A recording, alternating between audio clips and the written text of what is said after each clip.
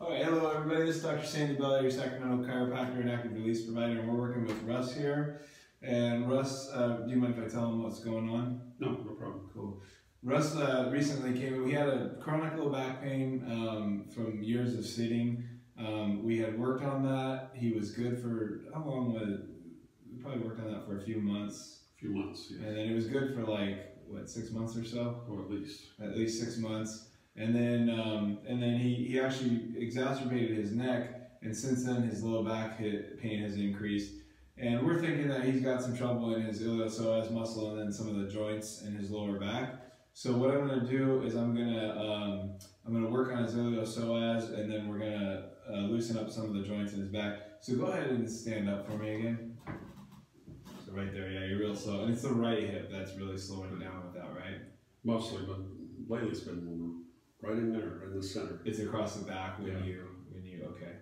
Um, let's have you lay on your left shoulder. So right now he's having some trouble going from sitting to standing, so we're gonna work on the muscles that make you do that.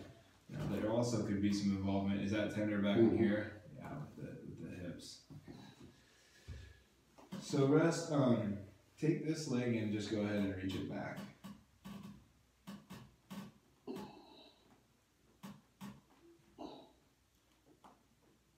Great, coming back up. We'll do this about three or four times, okay? Okay.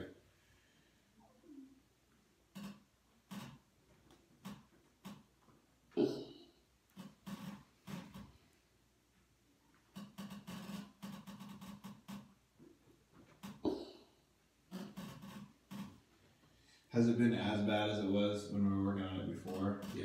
Yeah, it's Yes. been that bad again? Okay.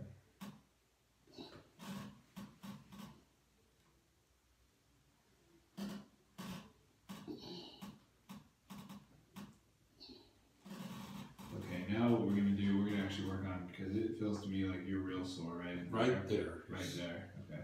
So what I'd like you to do is bend your knee up to my hand here, and then drop it off the table. Good. Drop your whole leg, try to reach your foot to the ground. Yeah, great. Good. Okay, come on back. I'm gonna help you back up because I know this is hard. I'll help you with this.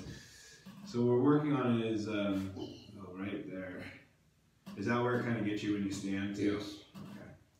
Working on a muscle called this gluteus maximus. We all know that muscle. But it's a big muscle for when you go from sitting to standing because you have to um, use that muscle to stand up.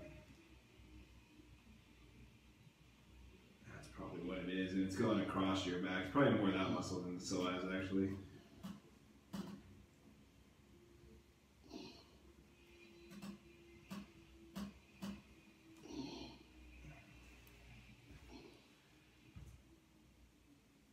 Yeah, it gets tight even up in there too.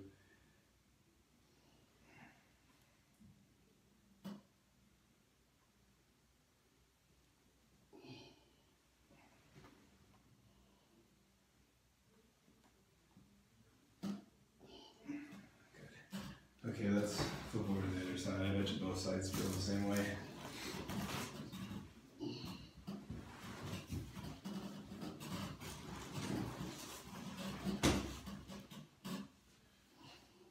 It'd be nice if you could just hurt one thing at a time for me.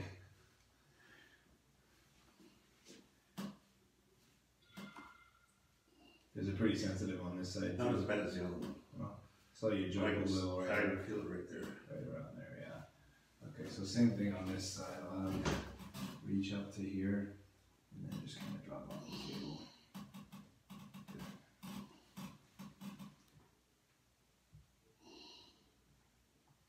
Is that alright on your head? Yeah. The glute max has um, fibers that kind of cross the sacrum down in that area, so like your tailbone area Right. and lower lower back. So that's why I think it's going across. It gets really achy when you stand up. May have something to do with the little one. I'm not listening to her anymore. No. She's getting too big. Uh, two, two month old like him. Yeah, ours is she's like 18, 19 pounds now. She's a little bowling ball. Cute age. Oh, she's so cute.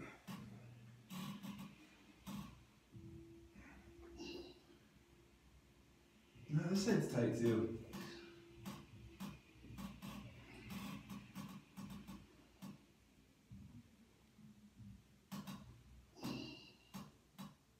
Good. Alright, let me you lay on your stomach.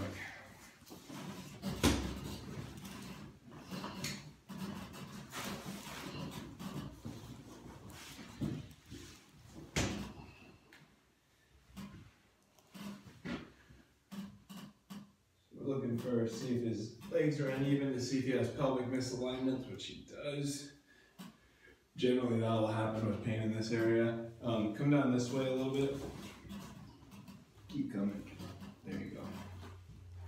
We're gonna do a drop adjustment on him to feeling better.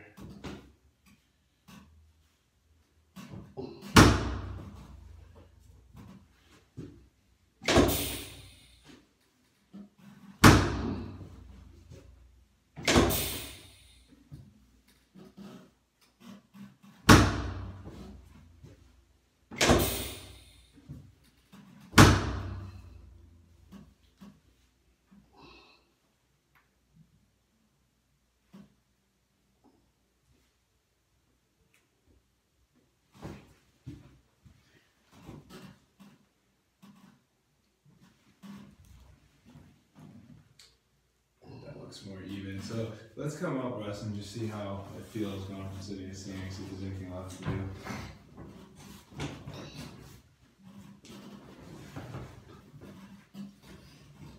Oh, much better, Is that better? much better. Good. Yeah, so it's all in your gluteus maximus muscle there. That's where it is. Excellent. I'm glad we could show him something good.